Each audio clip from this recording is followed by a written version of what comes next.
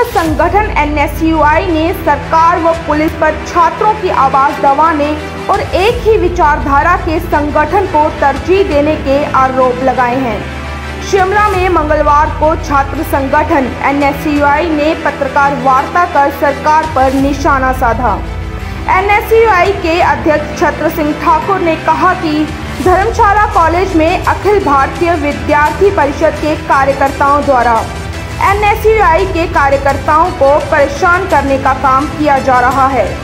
University में NSUI के poster फाड़े जाते हैं, लेकिन शिकायत देने के बावजूद पुलिस कोई कार्रवाई नहीं करती। उन्होंने कहा कि बस तीन महीने का समय ही रह गया है। इसके बाद भाजपा की सरकार को सत्ता से उखाड़ फेंकेंगे।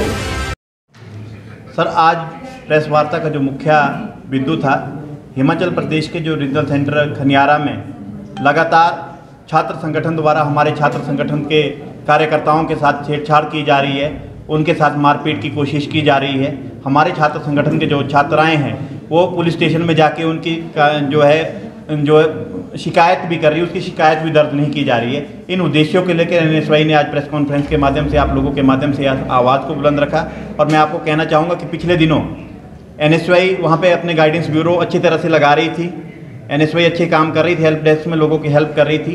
जो दूसरे छात्र संगठन इस बौखलाट में, उन्होंने हमारे बैनर पोस्टर फाड़े वहाँ पे और इसके जवाबी कार्रवाई में जब हमने बोला कि क्यों फाड़े, और लड़ाई झगड़े के माहौल बनाया, उसके बाद जब हमारे छात्र संगठन के जो नेता है वो वहाँ पे एफआईआर रजिस्टर करने गए तो एफआईआर भी रजिस्टर नहीं की गई। जब हमने डीसी ऑफ़िस में धरना प्रदर्शन किया, उसके बाद मजबूरन जो है एफआईआर को रजिस्टर करना पड़ा, जबकि पहले हमारे छात्र, दस छात्र जो नेता है, उनके ऊपर एफआईआर रजिस्टर की गई। वहाँ पे शरेआम गुंडागर्दी का माहौल बनाया जा रहा है, शिक्षा का भगवाकरण किया जा रहा है, और स्थानीय विधायक द्वारा पुलिस प्रशासन को पूरी सपोर्ट है। उनके दबाव में पुलिस प्रशासन एनएसवाई के छात्र संगठनों की, छात्र, छात्रों की आवाज़ को दबाने में लगे हैं। इन मुद्दों को लेकर हमने आज प्रेस वार्ता भी की, और आने वाले समय में आपसे संदेश संदेश के तौर पर भी कहा कि अगर जल्द इन मुद्दों को नहीं निपटाया गया।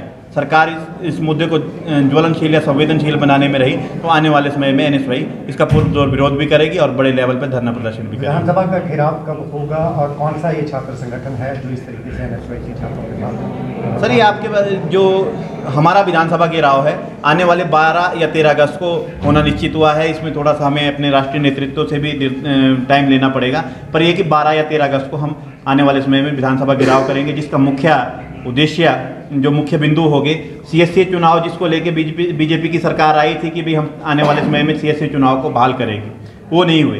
अग्निवीर, चार साल में आप देखिए कि हम तो शिमला में रहते हैं, अगर मैं लोअर हिमाचल में जाता हूँ, चाहे वो हमीरपुर, कांगड़ा, बिलासपुर है, वहाँ पे जो चार बजे उठ के हमारे जो छात्र साथी है, युवा साथी है, वो दौड़ लगाते हैं, अपनी कसरत करते हैं, व्यायाम करते हैं और फिजिकली ट्रेनिंग देते हैं। उसके बाद चार साल बाद उनको रिटायर किया गया है। एक दूसरा मुख्य मुद्दा होगा।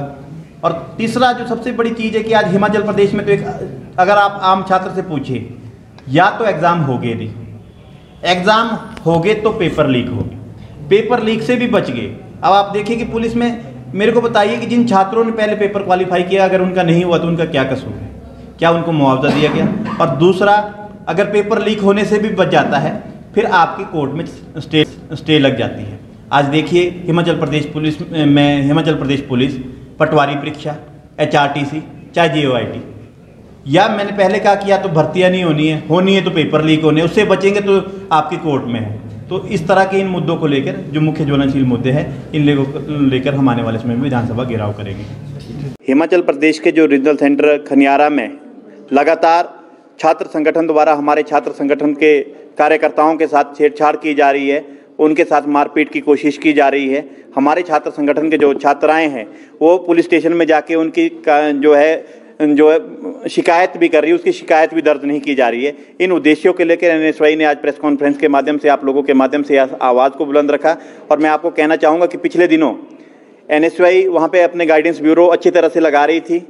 एन एस अच्छे काम कर रही थी, हेल्प डेस्क में लोगों की हेल्प कर रही थी। जो दूसरे छात्र संगठन इस बौखलाट में, उन्होंने हमारे बैनर, पोस्टर फाड़े वहाँ पे। और इसके जवाबी कार्रवाई में जब हमने बोला कि क्यों फाड़े, और लड़ाई झगड़े के माहौल बनाया, उसके बाद जब हमारे छात्र संगठन के जो नेता है वो वहाँ पे एफआईआर रजिस्टर करने गए तो एफआईआर भी रजिस्टर नहीं की गई। जब हमने डीसी ऑफ़िस में धरना प्रदर्शन किया, उसके बाद मजबूरन जो है एफआईआर को रजिस्टर करना पड़ा। जबकि पहले हमारे छात्र, दस छात्र जो नेता है, उनके ऊपर एफआईआर रजिस्टर की गई। वहाँ पर शरेआम गुंडागर्दी का माहौल बनाया जा रहा है, शिक्षा का भगवाकरण किया जा रहा है, और स्थानीय विधायक द्वारा पुलिस प्रशासन को पूरी सपोर्ट है। उनके दबाव में पुलिस प्रशासन एनएसवाई के छात्र संगठनों की छात्र, छात्रों की आवाज़ को दबाने में लगे हैं। इन मुद्दों को लेकर हमने आज प्रेस वार्ता भी की और आने वाले समय में आपसे संदेश संदेश के तौर पर भी कहा कि अगर जल्द इन मुद्दों को नहीं निपटाया गया सरकार इस इस मुद्दे को ज्वलनशील या संवेदनशील बनाने में रही तो आने वाले समय में एनएसवाई इसका पुरजोर विरोध भी करेगी और बड़े लेवल पर धरना प्रदर्शन भी करेगी। आने वाले 12 या 13 अगस्त को होना निश्चित हुआ है इसमें थोड़ा सा हमें अपने राष्ट्रीय नेतृत्व से भी टाइम लेना पड़ेगा पर यह कि 12 या 13 अगस्त को हम आने वाले समय में विधानसभा घेराव करेंगे जिसका मुख्य उद्देश्य जो मुख्य बिंदु हो होंगे सीएससी चुनाव जिसको लेके बीजेपी बीजेपी की सरकार आई थी कि भी हम आने वाले समय में सीएससी चुनाव को बहाल करेगी। वो नहीं हुए। अग्निवीर चार साल में आप देखिए कि हम तो शिमला में रहते हैं, अगर मैं लोअर हिमाचल में जाता हूँ, चाहे वो हमीरपुर, कांगड़ा, बिलासपुर है, वहाँ पे जो चार बजे उठ के हमारे जो छात्र साथी है, युवा साथी है, वो दौड़ लगाते हैं, अपनी कसरत करते हैं, व्यायाम करते हैं और फिजिकली ट्रेनिंग देते हैं। उसके बाद चार साल बाद उनको रिटायर किया गया एक दूसरा मुख्य मुद्दा होगा। और तीसरा जो सबसे बड़ी चीज़ है कि आज हिमाचल प्रदेश में तो एक, अगर आप आम छात्र से पूछे या तो एग्ज़ाम हो गए नहीं। एग्ज़ाम हो गए तो पेपर लीक हो गए पेपर लीक से भी बच गए। अब आप देखिए कि पुलिस में, मेरे को बताइए कि जिन छात्रों ने पहले पेपर क्वालिफाई किया, अगर उनका नहीं हुआ तो उनका क्या कसूर है? क्या उनको मुआवजा दिया गया? और दूसरा, अगर पेपर लीक होने से भी बच जाता है, फिर आपके कोर्ट में स्टे लग जाती है। आज देखिए, हिमाचल प्रदेश पुलिस, में, हिमाचल प्रदेश पुलिस, पटवारी परीक्षा, एचआरटीसी, चाहे जेओआईटी। या मैंने पहले कहा कि या तो भर्तियाँ नहीं होनी है होनी है तो पेपर लीक होने उससे बचेंगे तो आपके कोर्ट में है। तो इस तरह के इन मुद्दों को लेकर जो मुख्य ज्वलनशील मुद्दे हैं इन लोगों को लेकर हम आने वाले समय में विधानसभा घेराव करेंगे। उज्जवल हिमाचल के लिए शिमला से ब्यूरो रिपोर्ट। हिमाचल प्रदेश के विश्वसनीय ज्वेलर भूषण ज्वेलर्स